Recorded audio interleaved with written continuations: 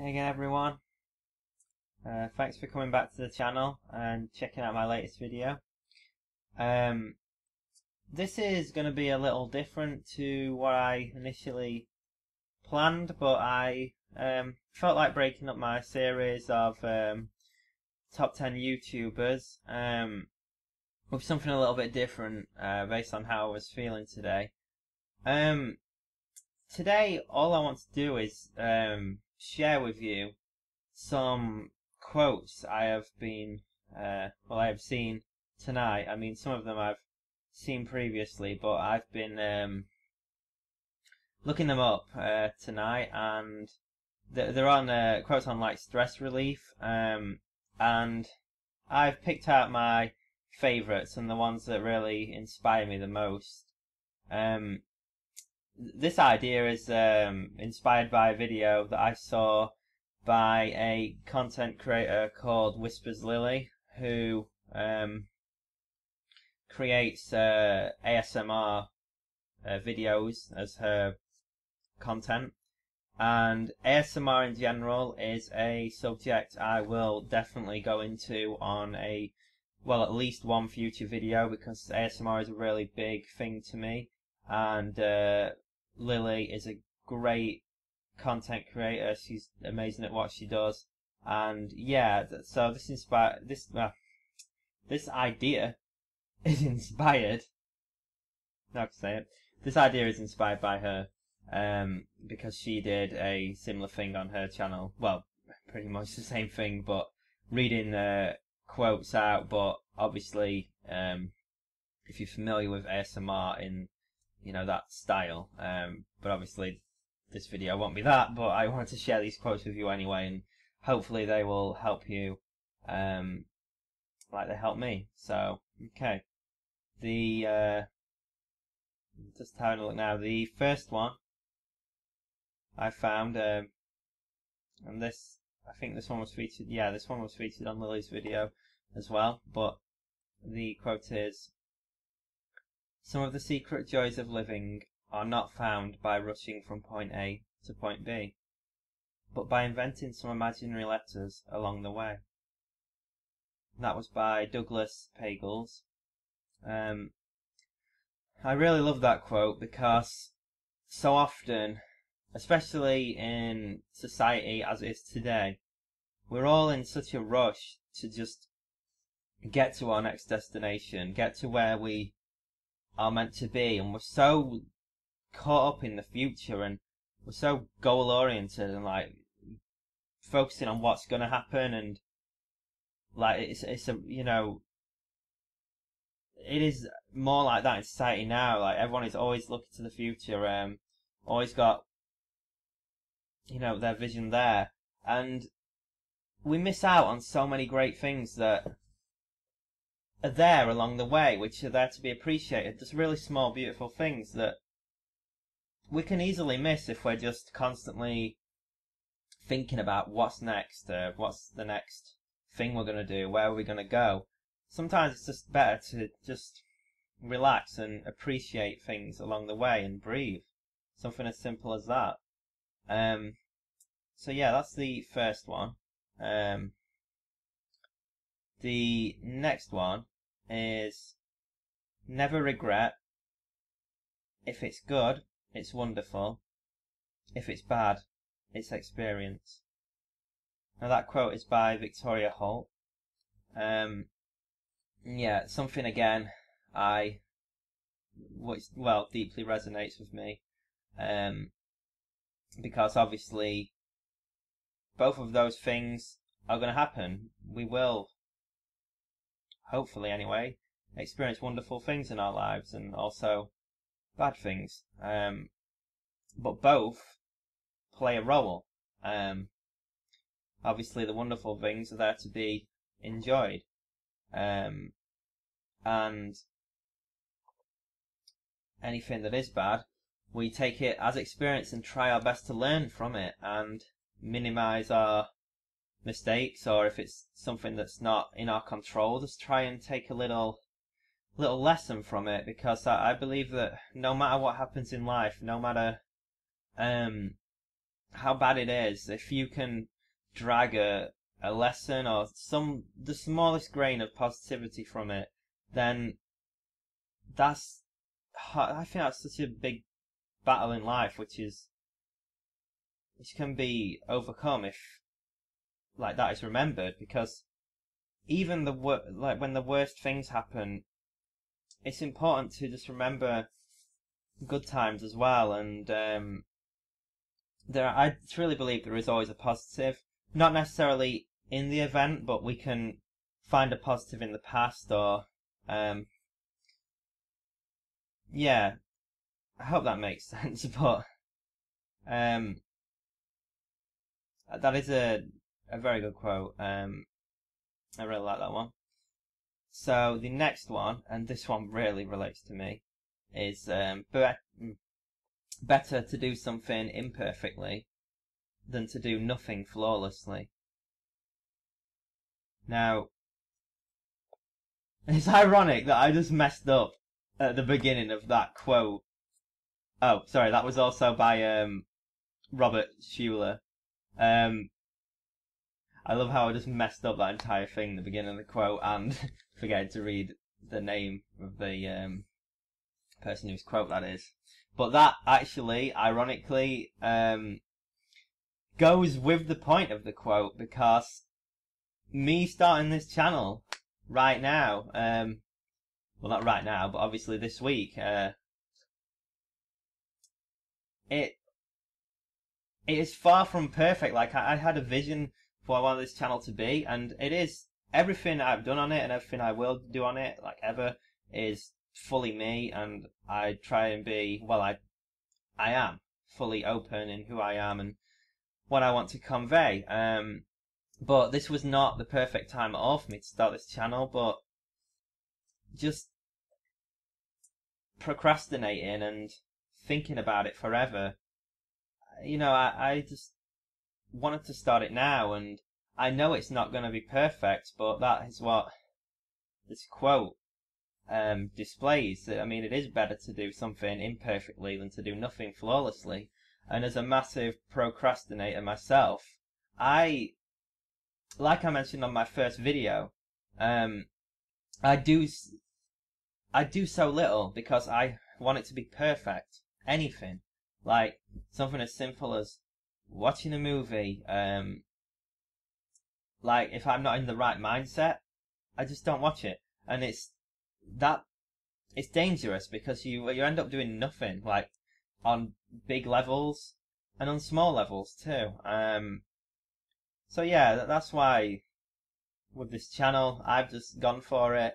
Um, I'll be putting up videos every single day for well until the remainder of the until the end of the year at least. Um, so yeah, I deeply agree with this uh, quote, and it's something that I'm trying to overcome because there's still a lot, so many things in my life I just put off and don't do because I can't do it perfectly. Um, but sooner or later, um, I hope I realize fully inside that it's exactly what it is. It's better to do obviously something imperfectly than nothing flawlessly. Which I'm great at, by the way. the nothing flawlessly thing. But, um, yeah. So, the next quote, um, check it, I haven't read, um, any of these already. Okay, um, so the next one is laughter it's the only medicine without side effects. And that's by Shannon L. Alder.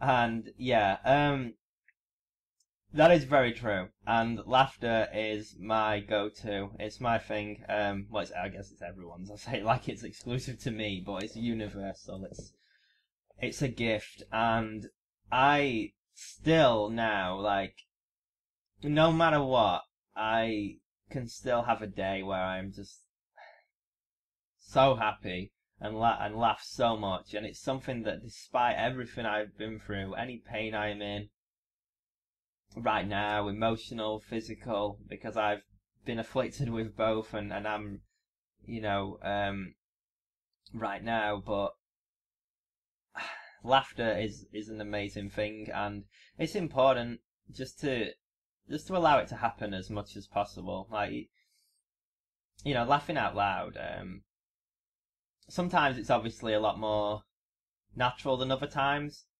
Like sometimes when I laugh, I you know really like hard to stop. But other times, like I will just I'll find something funny and I won't necessarily uh, laugh out loud, but I'll still kind of push myself to. If that makes sense, because I, I like to laugh and it is important, and I do think it helps your state of mind in general. Just just humor is is a, such an amazing tool, and I think it can.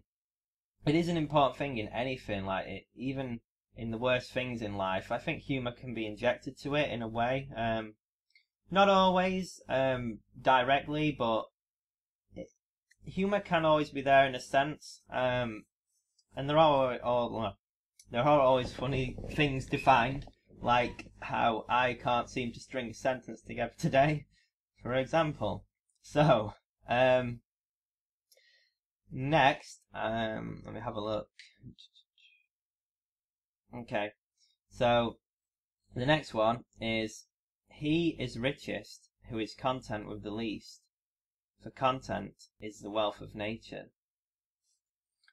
Now, this quote um, obviously talks about how we should be appreciative of the smaller things um, and no matter how many riches we have in terms of finances or anything else, um, just appreciating what we do have, however small it is or however few things we have, um, not necessarily material, obviously, but just being able to appreciate those things makes us rich in a way. Like if you can truly appreciate the beauty and the the great things in life and the things that are free, especially just you know like nature itself, um, then you are in a sense rich already because you can see the good in the world and the beauty in the world and and it is everywhere if you if you look for it um if you just allow yourself to see it you, you can see it any time it's there. There's always beauty in the world. It's just hard to see it through through um, negativity, but it is always there, um, and it is there if you truly want to see it. I do honestly believe. Um, okay. Um, yeah, I like this one because it is like a, a quote based on music, which is amazing to me. It is my well, music saves me every single day. But yeah, this is the quote. Um, you need songs that make you feel. Some make you string, some make you weak. I've just realised I've totally read that. I copied that quote I copied that quote from um, this website, and they spelt strong wrong. So now I'm going to start again reading this quote um, and do it correctly. And yes, so this is the actual quote. It doesn't involve string at all. You need songs that make you feel. Some make you strong. Some make you weak. Some build determination some tear you apart. But you need all of those. Run through the pain. That one is by Jessica Park. Um, but yeah, I, I, I mean, music is a universal thing. I don't think there's anyone, I don't think there's a single human being who said he dislike music. I mean, maybe they're not, some people aren't as interested in it as others, that's definitely true, but I don't know how anyone could actually dislike it. So it's it's that universal thing. It's that universal language that we all uh, speak. Well, can communicate through, and um, yeah, it's music can touch me in so many different ways, and it's such a healer. It's such an amazing thing. It, it's you know, it's one, it's one of those things where it can't really be described, but it's just an incredible thing, and the gift of music is just amazing. There are so many musical artists that save me every single day just by sharing their gift with the world. And I will for sure be doing a lot of videos about music because it is it's my life. So yeah, um I like that quote for paying tribute to music in general. Okay, this next quote is it goes like this. Um,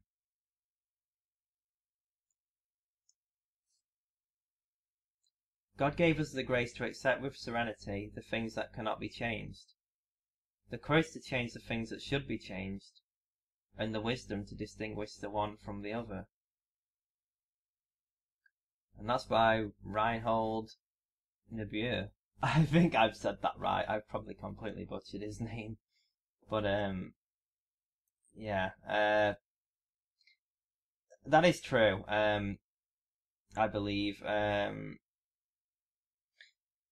and it's something I always think about. There are certain things that we can't change, and there are certain things that we can. And